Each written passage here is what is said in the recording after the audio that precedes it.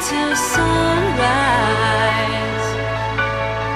Show me the spark in your eyes.